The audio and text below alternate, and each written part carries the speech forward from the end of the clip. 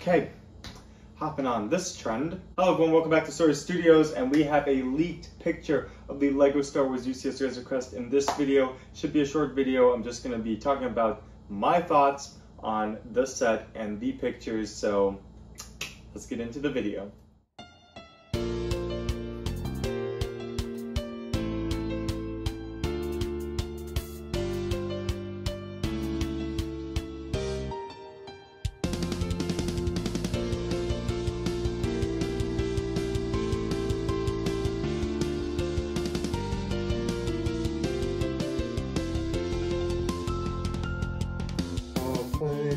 Built from scratch. Not Nani no Makata. Just some Lego sets ideas, some lights and a camera. But then it came to life. Watashi no Sekai Kawata. My imagination ran. And I never stopped, even though that it felt like bricks on bricks were weighing me down. But I knew if I kept working, we'd survive and we won't drown. Where pieces become whole and dreams come true. This is the place where you should be.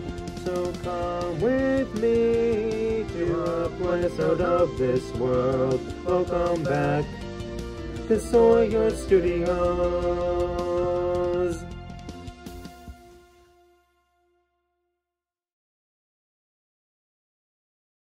First off, this uh, the, uh, this the set looks great. Um, literally everything looks great. It looks like we have some VIP early access, the third to the seventh of October, which is to be expected.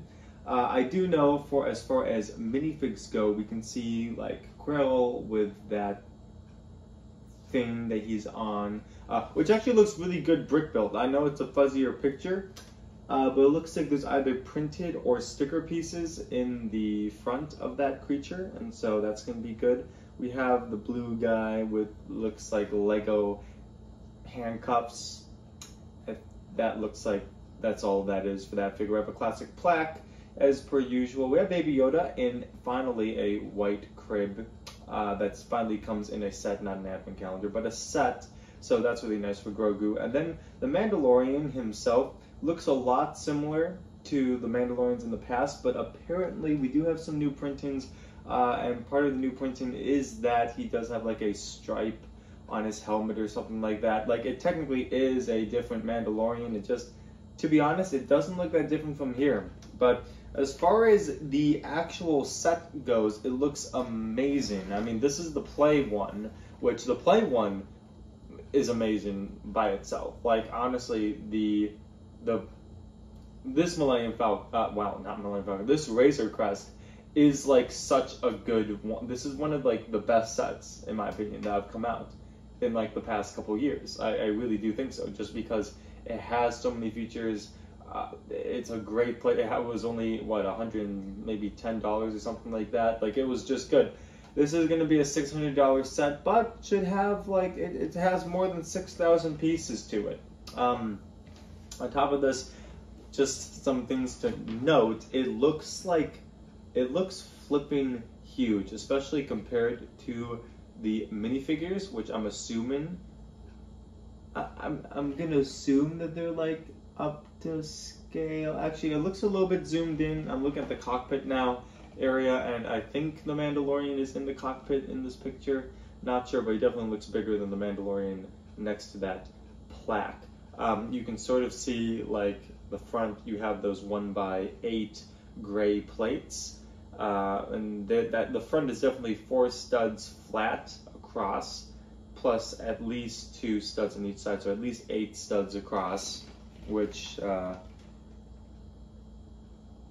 okay yeah interesting so the front of this of this uh, razor crest is the same length as this razor crest front because this also has two one by eight plates with two uh, studs width here and then some curves and it looks like it's literally the same thing so uh, at least we know the front is the same. But when it comes to going back, it looks like it's going to be different.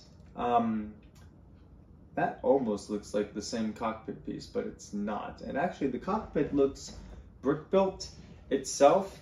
Uh, we keep going back. It definitely goes wider. Like, although this might be the same size, it definitely widens out a ton, especially these engines, which are massive. And these, um, oh my goodness, like the, the, the engines look amazing. It, they just look absolutely beautiful.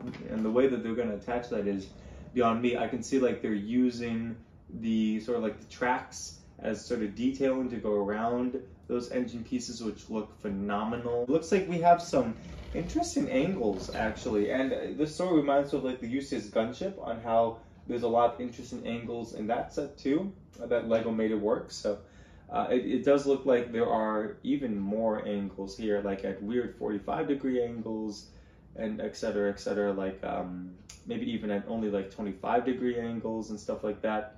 Uh, the yellow, the yellow stripes definitely, I believe, are stickers because we got the sticker sheet.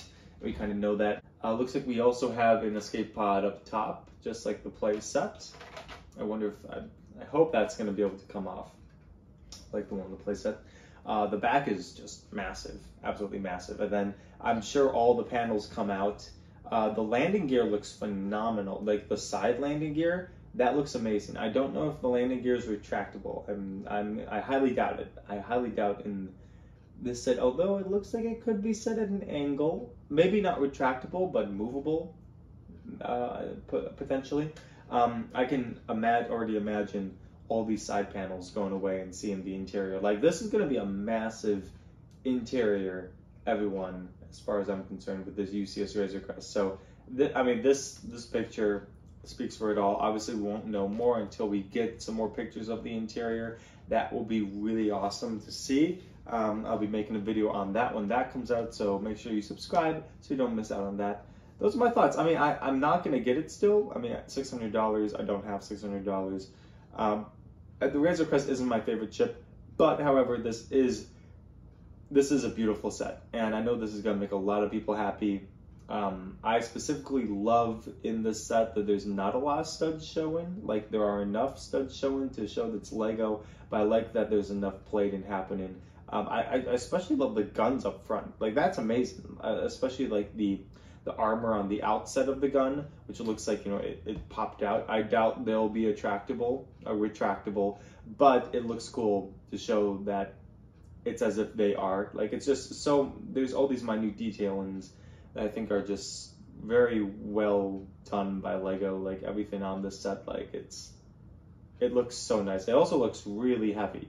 Um, so as far as the we know like the front here is the same as the toy one. As far as the length goes, my goodness, it looks almost twice the size as this.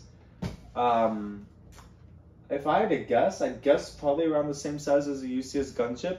Uh, it's just this is going to be a thicker boy, and there's going to be obviously more of an interior than the gunship uh, had to it.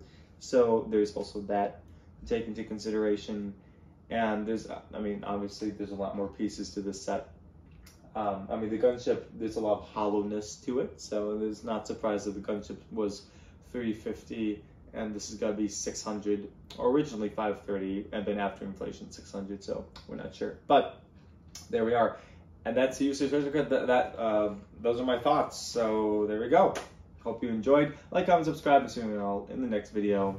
Peace out